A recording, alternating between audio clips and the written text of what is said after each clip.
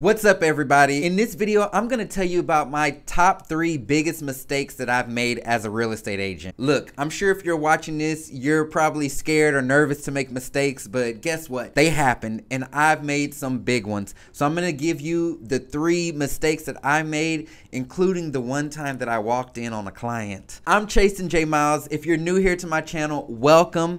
I thank you for being here. I release videos to help people coming into real estate or new agents, give you advice, tell you what you can expect, tools, tips, all that good stuff. So, if that's why you're here, do me a favor and hit that thumbs up button. I'll definitely appreciate it. And if you want more content like this, please consider subscribing. I'd love to have you as part of my YouTube family. Now, in this video, somewhere probably towards the end, I'm to let you know where you can go and get my 90 day action plan. And what this is, is this is a PDF document that will basically jumpstart your real estate business. It includes a schedule, it includes information on time blocking, what you should do every day so that you can get your business going. But other than that, let's go ahead and hop into this video. I can't let them take my soul. Nah, nah, nah, nah, no. Can't let them take my soul. Nah, nah, nah. All right, so for my first mistake that I made as a real estate agent, this was actually dealing with me not turning in a piece of paper. So here's what went down. On this transaction, I was representing the buyers. So my clients were purchasing a home. My buyers had came in, this was closing day. They came in, they signed all the documents, they paid their money, they were good to go. Now it was the seller's time to come in and sign the documents. I'll tell you this the cool thing about where this closing was happening was the title company was right next door to my real estate office. So I didn't really have a far commute. I literally walked right out the front door of my office and turned left, and the title company was right there. My clients, they came in, they signed all their closing documents, they wired the money to the title company. They were ready to purchase a home that day. We finished up, we wrapped up the closing in probably about an hour. Later that day, it was the seller's turn to come in and sign their documents and do everything. So I'm just in my office waiting around for this closing to take place, waiting for these sellers to come in, sign so that way we can all collect our commission, they can exchange keys, all that good stuff. Well, I get a call during the time that the seller is supposed to be signing their documents from the escrow officer, and they basically told me that the seller is refusing to sign the rest of the documents. I was like, why? And they said that the numbers aren't right. There was a line item on the documents that wasn't calculated correctly. I found this hard to believe because everybody received the numbers ahead of time. I thought that everybody had agreed on them, but apparently something wasn't right. So I leave my office, I go outside, turn left, go into the title company.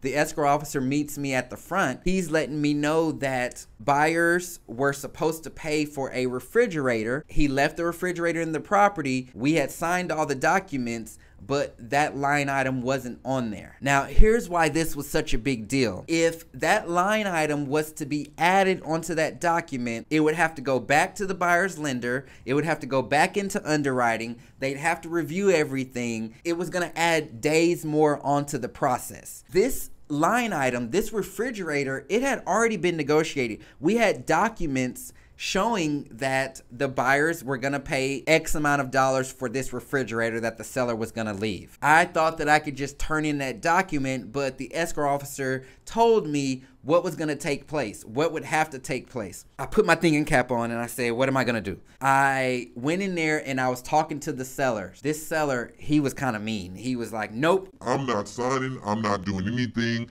We're shutting down closing. I want my money for this refrigerator. I said, okay, my clients will get you the money. I had already told them what had taken place. They will get you the money. Luckily, they weren't too mad at me because they know that they didn't pay for it, but I had to do what was right. So this guy shuts down closing. I was literally left with no other option. He was refusing to sign and he wanted that money right then and there. I even told him, I said, we can get you the money after closing, after, you know, everything's done. He didn't trust that. I had to leave there, go run to Kroger's, get a money order for the amount of that refrigerator that we had negotiated, pay out of my own pocket to this man in order for him to complete this closing. Now, I'll tell you, I didn't get my money back from the clients. It's not a big deal. It was my mistake, but literally, me forgetting to turn in that one document to the title company and to the lender cost me over half of my commission. Biggest lesson you can learn from that is turn in all of your documents when you're supposed to. Another mistake that I made as a real estate agent was I was showing a property and this actually happened not too long ago. So trust me, you can be years in the business and still make stupid mistakes. So I was showing a property. I had a whole family with me. I, I was showing the whole family, the mom, the dad, two daughters. We were in this nice house. It was over half a million dollars. Normally, when I am showing a property, I will lock the front door and I'll carry the key around with me. Well, this particular time, I didn't lock the front door. I didn't carry the key with me we go outside. I'm showing them the house, and then we go outside to go look at the pool and everything. And while we're standing out there, me and the whole family, I hear this sound that sounds like a door is locking. The door freaking locked. We were locked outside. I left the key inside of the home. I didn't know the code on the keypad. We were locked outside. I call the agent to see if I can get this code. They're not answering. I called the showing service to see if they can get in touch with the agent. They weren't able to get in touch with the agent. I'm outside with this family showing a half million dollar home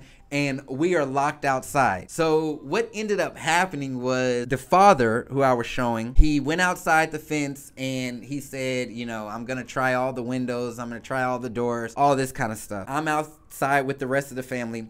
He goes to the front door and thank God I left the front door unlocked which again I never do because I think that it's a little unsafe and anybody can just walk in. That front door didn't lock because it wasn't closed all the way. He went in and came in and unlocked the door for us and we were in the house. Always keep the key with you. No matter what you're showing, always keep the key with you. Now, the final mistake that I learned, I was visiting one of my clients and they I was putting their their condo on, on the market. We had it on the market. So I was going to stop by to visit them. I think I had to deliver some paperwork or something. I showed up just a few minutes early, right? Like I mean probably five to ten minutes early. Went in through the back because the way that this community is set up, you actually enter from the back because that's where the parking spots are and everything. So I went in from the back. This is what I normally do. I open up the back fence to let me into the little courtyard area of my client's condo. There he is in his underwear, like drinking out of a gallon, and he sees me and I see him he spits out his drinks and takes off running and i'm sitting there like oh crap. Like what am i supposed to do? It was so awkward that day. Like i mean he he went and put some some clothes on. And when i say in his underwear i mean he he only had his underwear on. So he takes off running. He comes back. I'm just standing there like man what did i just do? I should have called when i was in the parking lot but he knew that I was coming and and I don't know, it was just a big mess. And so we're in we're in the house now and there was just like this awkward moment and I just kept apologizing to him. I was like, My bad man, I didn't mean to do that, my bad and I could tell he was kind of embarrassed or, you know, he was uncomfortable and we were probably like socially distanced just for the matter of it. But it was all fine after that. But that was another mistake that I made. So lesson, moral of the story, and lesson to be learned is call people before you just show up to their house because you don't want to walk in on somebody like I did. So those are three mistakes that I've made in my real estate business, and trust me, mistakes happen every day. Like we're we're only human, so don't beat yourself up. Life goes on, all that kind of stuff. Again, I want to let you know where to get that 90 day action plan. I'm going to put the link in the description and also up in the cards. So if you're looking for a new direction in your real estate business or you just want to know what to do on a day to day basis, go ahead and get that 90 day action plan. Look, I'm curious. Let me know down in the comments if you've ever made any mistakes in your real estate business. I definitely want to hear about them. And thank you for watching. Hit hit that thumbs up button if you enjoyed this and consider subscribing if you want more videos like this. I'm Chastin J Miles and I will talk to you soon. Close. These demons really out to get you, so you better guard your post. There's certain things I could probably let go, but I can't let them take my soul. Nah, nah, nah, nah, no. Oh, I can't let them take my soul. Nah, nah, nah, nah, no. I can't let them take my soul. Nah, nah, nah, nah, no. Can't let them take my soul.